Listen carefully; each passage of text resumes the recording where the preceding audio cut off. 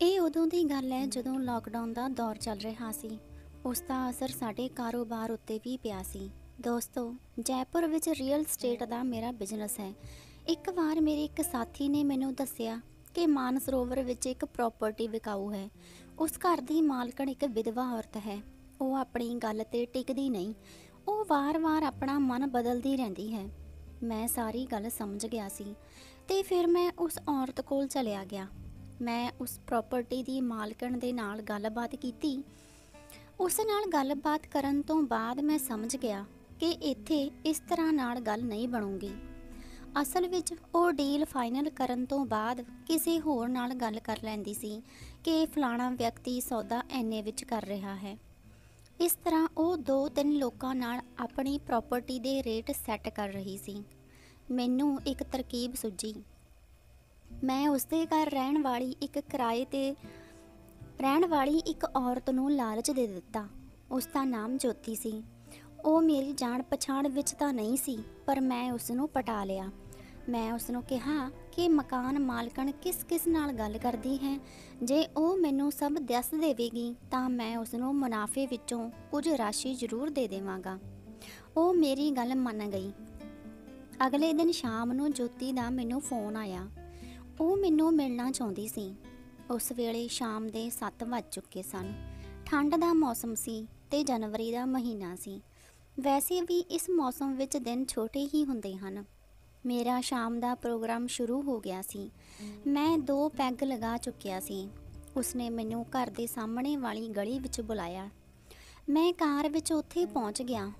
ਮੈਂ ਉਸ ਜਗ੍ਹਾ ਤੇ ਪਹੁੰਚ ਕੇ ਉਸ ਨੂੰ ਫੋਨ ਕਰ ਦਿੱਤਾ ਤੇ ਕਿਹਾ ਕਿ ਮੈਂ ਪਹੁੰਚ ਗਿਆ ਹਾਂ। ਉਹ ਪੈਦਲ ਪੈਦਲ ਆਈ ਤੇ ਕਾਰ ਵਿੱਚ ਬੈਠਦਿਆਂ ਮੈਨੂੰ ਕਹਿਣ ਲੱਗੀ, ਇੱਥੋਂ ਕਾਰ ਨੂੰ ਕਿਤੇ ਹੋਰ ਲੈ ਜਾਓ। ਜਦੋਂ ਉਸਨੇ ਕਾਰ ਵਿੱਚ ਧਿਆਨ ਨਾਲ ਵੇਖਿਆ ਤਾਂ ਉਸ ਨੂੰ ਪਤਾ ਲੱਗਿਆ ਕਿ ਮੈਂ ਗੱਡੀ ਨੂੰ ਬਾਹਰ ਬਣਾ ਰੱਖਿਆ ਹੈ। ਉਹ ਮੈਨੂੰ ਵੇਖ ਕੇ ਮੁਸਕਰਾਉਣ ਲੱਗ ਗਈ। ਫਿਰ ਮੈਂ ਝਿਜਕਦੇ ਹੋਏ ਨੇ ਉਸ ਨੂੰ ਕਿਹਾ, ਕਿ ਠੰਡ ਬਹੁਤ ਜ਼ਿਆਦਾ ਹੈ ਨਾ, ਇਸ ਲਈ ਮੈਂ ਰੋਜ਼ ਸ਼ਾਮ ਨੂੰ ਥੋੜੀ ਪੀ ਲੈਂਦਾ ਹਾਂ। ਮੇਰੀ ਗੱਲ ਸੁਣ ਕੇ ਉਸ ਦੀਆਂ ਅੱਖਾਂ ਵਿੱਚ ਚਮਕ ਆ ਗਈ ਸੀ ਤੇ ਉਸਨੇ ਇਸ਼ਾਰੇ ਦੇ ਨਾਲ ਮੇਰੇ ਕੋਲੋਂ ਡਰਿੰਕ ਮੰਗ ਲਈ। ਮੈਂ ਬੜਾ ਹੈਰਾਨ ਹੋ ਗਿਆ। ਫਿਰ ਮੈਂ ਇੱਕ ਗਲਾਸ ਵਿੱਚ ਪੈਗ ਬਣਾ ਕੇ ਉਸ ਨੂੰ ਦੇ ਦਿੱਤਾ। ਮੈਂ ਆਪਣੇ ਲਈ ਵੀ ਇੱਕ ਪੈਗ ਤਿਆਰ ਕਰ ਲਿਆ ਸੀ। ਫਿਰ ਅਸੀਂ ਦੋਵੇਂ ਚੈਸ ਬੋਲ ਕੇ ਸਿਪ ਸਿਪ ਕਰਕੇ ਪੀਣ ਲੱਗ ਗਏ। ਮੈਂ ਉਸ ਨੂੰ ਕਿਹਾ ਕਿ ਮੈਨੂੰ ਨਹੀਂ ਪਤਾ ਸੀ ਕਿ ਤੁਹਾਨੂੰ ਵੀ ਪੀਣ ਦਾ ਸ਼ੌਕ ਹੈ। ਉਹ ਇੱਕ ਅੱਖ ਦੱਬਦੀ ਹੋਈ ਕਹਿਣ ਲੱਗੀ ਠੰਡ ਹੈ ਨਾ, ਇਸ ਲਈ ਮੈਂ ਪੈਗ ਖਤਮ ਕਰਕੇ ਸਿਗਰਟ ਦਾ ਪੈਕੇਟ ਚੁੱਕ ਲਿਆ। ਉਸਨੇ ਵੀ ਆਪਣਾ ਪੈਗ ਖਤਮ ਕਰ ਦਿੱਤਾ ਤੇ ਮੈਨੂੰ ਵੇਖਣ ਲੱਗ ਗਈ। ਮੈਂ ਇੱਕ ਸਿਗਰਟ ਕੱਢ ਕੇ ਆਪਣੇ ਮੂੰਹ ਵਿੱਚ ਪਾ ਲਈ, ਤਦ ਹੀ ਉਸਨੇ ਵੀ ਇੱਕ ਸਿਗਰਟ ਪੈਕੇਟ ਵਿੱਚੋਂ ਕੱਢ ਲਈ। ਮੈਂ ਲਾਈਟਰ ਜਲਾ ਕੇ ਉਸਦੀ ਸਿਗਰਟ ਜਲਾ ਦਿੱਤੀ। ਫਿਰ ਮੈਂ ਆਪਣੀ ਸਿਗਰਟ ਨੂੰ ਵੀ ਸੁਲਗਾ ਦਿੱਤਾ ਤੇ ਖਿੱਚਦੇ ਹੋਏ ਨੇ ਉਸ ਨੂੰ ਕਿਹਾ ਯਾਰ, ਤੁਹਾਡੀ ਤੇ ਮੇਰੀ ਬਹੁਤ ਬਣੇਗੀ। ਉਹ ਵੀ ਹਾਂ ਕਹਿੰਦੀ ਹੋਈ ਮਜ਼ਾ ਲੈ ਰਹੀ ਸੀ। ਫਿਰ ਮੈਂ ਉਸ ਨੂੰ ਆਪਣੇ ਦੋਸਤ ਦੇ ਫਾਰਮ ਤੇ ਲੈ ਗਿਆ ਤਾਂ ਕਿ ਸਾਡੇ ਦੋਵਾਂ ਵਿਚਕਾਰ ਚੰਗੀ ਤਰ੍ਹਾਂ ਨਾਲ ਗੱਲ ਹੋ ਜਾਵੇ ਤੇ ਵੋਟਕਾ ਦਾ ਆਨੰਦ ਲੈ ਸਕੀਏ। ਫਾਰਮ ਤੇ ਪਹੁੰਚਦੇ ਸਾਰ ਮੈਂ ਉਸ ਨੂੰ ਕਮਰੇ ਵਿੱਚ ਲੈ ਗਿਆ। ਅੰਦਰ ਆਉਂਦਿਆਂ ਹੀ ਉਸਨੇ ਆਪਣਾ ਰਾਗ ਅਲਾਪਣਾ ਸ਼ੁਰੂ ਕਰ ਦਿੱਤਾ ਕਿ ਮੈਨੂੰ 5000 ਰੁਪਏ ਦੀ ਜ਼ਰੂਰਤ ਹੈ। ਤੇ ਮੈਂ ਅੱਜ ਹੀ ਕਿਸੇ ਨੂੰ ਪੈਸੇ ਦੇਣੇ ਨੇ। ਮੈਂ ਇਹ ਪੈਸੇ ਤੁਹਾਨੂੰ ਕਿਸ਼ਤਾਂ ਵਿੱਚ ਦੇ ਦੇਵਾਂਗੀ। ਇਸ ਦੇ ਬਦਲੇ ਵਿੱਚ ਮੈਂ ਕੁਝ ਵੀ ਕਰ ਸਕਦੀ ਹਾਂ। ਮੈਂ ਉਸ ਨੂੰ ਉੱਪਰ ਤੋਂ ਲੈ ਕੇ ਹੇਠਾਂ ਤੱਕ ਬੜੇ ਹੀ ਧਿਆਨ ਨਾਲ ਵੇਖਣ ਲੱਗ ਗਿਆ। ਵੇਖਣ ਵਿੱਚ ਉਹ ਬੜੀ ਮਸਤ ਲੱਗ ਰਹੀ ਸੀ। ਮੈਂ ਸੋਚਣ ਲੱਗਿਆ ਕਿ ਜੇ ਇਸ ਦੀ ਕਰਨ ਨੂੰ ਮਿਲ ਜਾਵੇ ਤਾਂ ਮੇਰੇ ਲਈ ਇਹ ਸੌਦਾ ਘਾਟੇ ਦਾ ਨਹੀਂ ਹੈ। ਜਦੋਂ ਕਿ ਇਸ ਤੋਂ ਪਹਿਲਾਂ ਮੈਂ ਉਸ ਨੂੰ ਇਸ ਨਜ਼ਰ ਨਾਲ ਨਹੀਂ ਵੇਖਿਆ ਸੀ। ਜੋਤੀ ਨੂੰ ਲੱਗਿਆ ਕਿ ਮੈਂ ਉਸ ਨੂੰ ਕਿਤੇ ਮਨਾ ਨਾ ਕਰ ਦੇਵਾਂ। ਇਸ ਲਈ ਉਹ ਮੇਰੀ ਚਾਪਲੂਸੀ ਕਰਨ ਲੱਗ ਗਈ। ਮੈਂ ਵੀ ਜਾਣ ਬੁੱਝ ਕੇ ਆਪਣਾ ਰਵਈਆ ਕਠੋਰ ਕਰ ਲਿਆ। ਉਸਨੇ ਮੇਰੀਆਂ ਮਿੰਨਤਾਂ ਕਰਦੇ ਹੋਏ ਆਪਣਾ ਦੁਪੱਟਾ ਮੇਰੇ ਅੱਗੇ ਫੈਲਾ ਦਿੱਤਾ। ਮੇਰੀ ਨਜ਼ਰ ਉਸਦੇ ਦੋਵਾਂ ਦੇ ਉੱਤੇ ਪੈ ਗਈ। ਉਸਦੇ ਵੇਖ ਕੇ ਮੇਰੇ ਮੂੰਹ ਵਿੱਚ ਪਾਣੀ ਆ ਗਿਆ। ਉਹ ਇੱਕਦਮ ਹੂਰ ਪਰੀ ਲੱਗ ਰਹੀ ਸੀ। ਮੈਂ ਜਾਣ ਬੁੱਝ ਕੇ ਉਸ ਨੂੰ ਵਿਖਾ ਰਿਹਾ ਸੀ ਕਿ ਮੇਰੇ ਉੱਪਰ ਉਸ ਦੀਆਂ ਮਿੰਨਤਾਂ ਦਾ ਕੋਈ ਅਸਰ ਨਹੀਂ ਹੋ ਰਿਹਾ ਹੈ। ਮੈਨੂੰ ਉਸ ਨੂੰ ਇਸ ਤਰ੍ਹਾਂ ਤੜਫਦੇ ਹੋਏ ਵੇਖ ਕੇ ਮਜ਼ਾ ਆ ਰਿਹਾ ਸੀ।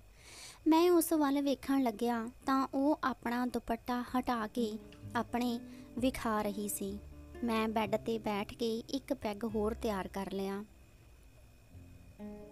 ਤਾਂ ਉਸਨੇ ਮੇਰਾ ਗਲਾਸ ਫੜ ਕੇ ਉਸ ਵਿੱਚ ਸੋਡਾ ਅਤੇ ਬਰਫ਼ ਪਾ ਦਿੱਤਾ ਤੇ ਫਿਰ ਉਹ ਗਲਾਸ ਮੇਰੇ ਬੁੱਲਾਂ ਨੂੰ ਲਗਾਉਣ ਲੱਗ ਗਈ।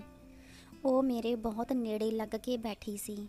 ਮੈਂ ਉਸ ਨੂੰ ਹੱਥ ਲਾ ਕੇ ਵੇਖਿਆ ਤਾਂ ਉਹ ਮੈਨੂੰ ਬਹੁਤ ਮੁਲਾਇਮ ਲੱਗ ਰਹੀ ਸੀ। ਮੇਰੇ ਉਸ ਨੂੰ ਹੱਥ ਲਗਾਉਣ ਤੇ ਉਹ ਮੁਸਕਰਾਉਣ ਲੱਗ ਗਈ। ਇਸ ਨਾਲ ਮੇਰਾ ਹੌਸਲਾ ਹੋਰ ਵੱਧ ਗਿਆ। ਮੇਰਾ ਆਪਣੇ ਆਪ ਉੱਤੇ ਕੋਈ ਕੰਟਰੋਲ ਨਾ ਰਿਹਾ। ਉਹ ਵੀ ਮੇਰਾ ਸਾਥ ਦੇਣ ਲੱਗ ਗਈ ਸੀ। ਉਸਨੇ ਆਪਣੇ ਸਾਰੇ ਹਟਾ ਦਿੱਤੇ। ਜੋਤੀ ਦੇ ਵੱਲੋਂ ਇੱਕ ਭੁੱਖੇ ਇਨਸਾਨ ਦੇ ਸਾਹਮਣੇ ਟੇਸਟੀ ਟੇਸਟੀ ਭੋਜਨ ਪਰੋਸ ਦਿੱਤਾ ਗਿਆ। ਇੰਨਾ ਟੇਸਟੀ ਭੋਜਨ ਵੇਖ ਕੇ ਮੈਂ ਕਿਵੇਂ ਰੁਕ ਸਕਦਾ ਸੀ? ਮੈਂ ਉਸ ਦੇ ਉੱਪਰ ਬੁਰੀ ਤਰ੍ਹਾਂ ਨਾਲ ਟੁੱਟ ਪਿਆ। ਉਹ ਵੀ ਮੇਰਾ ਬਰਾਬਰ ਸਾਥ ਦੇ ਰਹੀ ਸੀ। ਇੱਕ ਰਾਉਂਡ ਲਗਾਉਣ ਤੋਂ ਬਾਅਦ ਅਸੀਂ ਦੋਵਾਂ ਨੇ ਇੱਕ ਇੱਕ ਪੈਗ ਹੋਰ ਲਗਾ ਦਿੱਤਾ।